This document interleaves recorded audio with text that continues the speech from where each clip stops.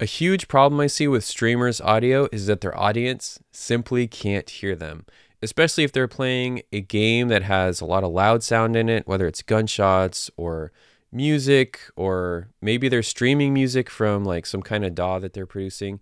But the big problem is that the audience can't hear what you're saying when you're talking because the other audio is masking your voice. So I'm going to show you in OBS how to set up a really simple solution to that that's going to automatically mix your sound for you and do it in a way that you can control. But you're not going to have to be hands-on. So the very first thing you're going to want to do is set your microphone preamp gain. If you have a USB microphone, uh, you'll want to turn the knob on that microphone up.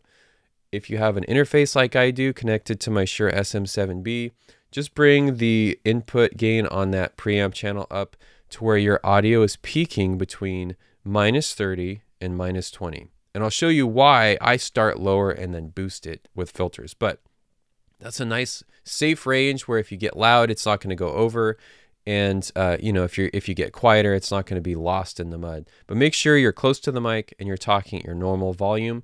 You might be a low talker, and so you're going to have to boost the gain more. If you're really loud, then you're going to want to have the gain you know, lower than somebody who speaks quieter. So just make sure you talk, set the level. So that step's done. We're going to go on to filters for our microphone. If you're in a noisy room, you have 800 fans in your PC and you've got the air conditioner blowing and you have the smoke alarm chirping in the background, you're going to want some noise suppression. My room is very quiet, so I don't need it, but I'm going to show you how to add it anyways. So just add the noise suppression filter. You're going to want to keep these filters in this order so that the gain staging is good. The I've listened to both of these methods, uh, Speex and RNNoise, and the RNNoise seems to be more uh, like transparent, higher quality. It does use more CPU, so flip between those. Make sure you're listening to your voice so you can hear what it does. I'm going to turn that off because I don't need it. So next thing, even though on here on the uh, the meters, you know, my peaks are between minus 30 and minus 20. That's not going to be loud enough. So the next thing I'm going to do is add a compressor. This is going to do a couple things. One, it's going to boost the level, but two, it's going to keep the dynamics of my voice in a much smaller box than if I just went with a raw mic feed. So, important settings. First, first you need to adjust the threshold, not the ratio. So because we've set the peaks between minus 30 and minus 20, just park that threshold right in between, minus 25, 26, somewhere around there. Now we're going to bring the ratio down to about 3 to start with. This is how much it's going to reduce the volume of your voice. Attack and release, those settings are going to be fine for this.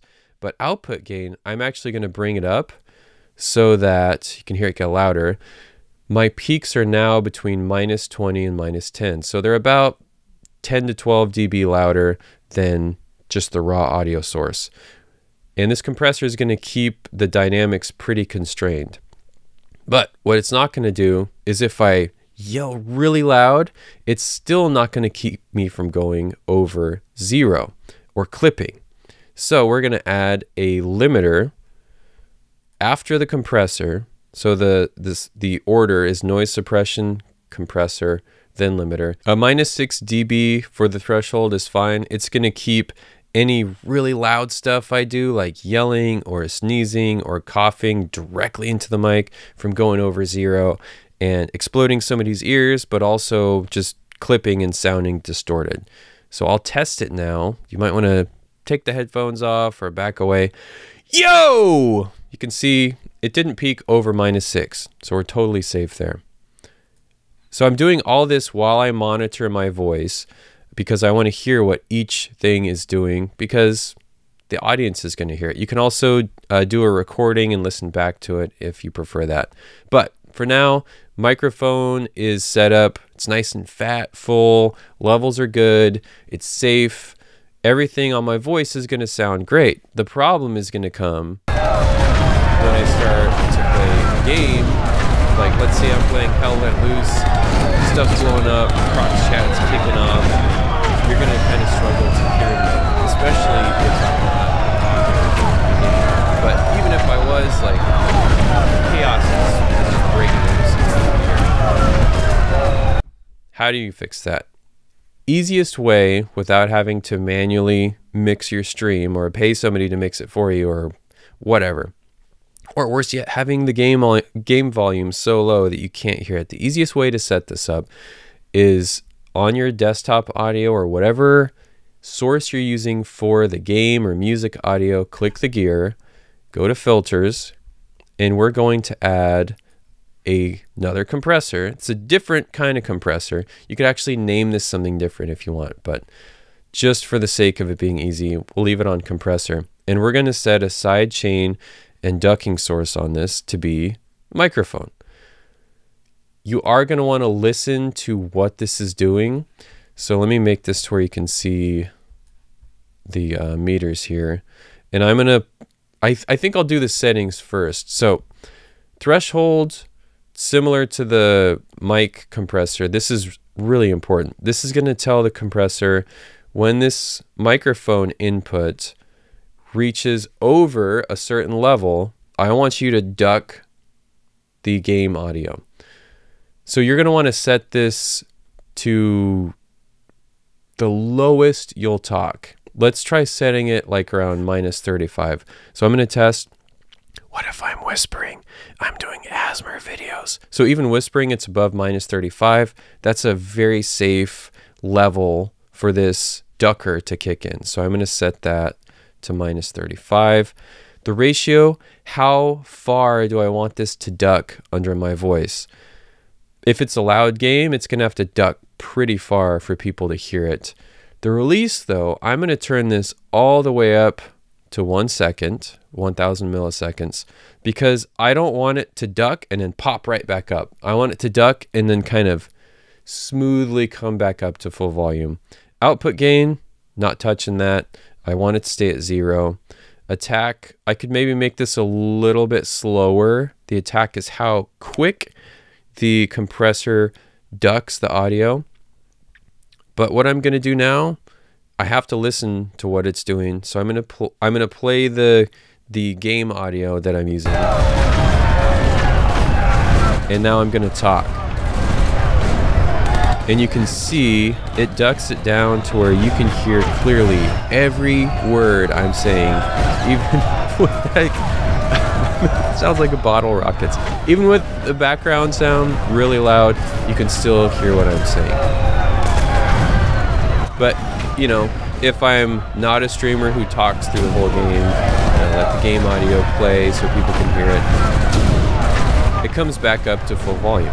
Let's hear without this again. I'm to turn this sidechain compressor or ducker back off. And I'm talking. You can't even hear me. So I need to turn this back on. And now you can hear me. So change the ratio. If you really want it ducked like way down, you can bring that up. Uh, the other thing you might do is bring the threshold actually down so that the sidechain ducker actually kicks in a little bit sooner. You know, maybe it doesn't wait for your voice to get to full volume. So this is great.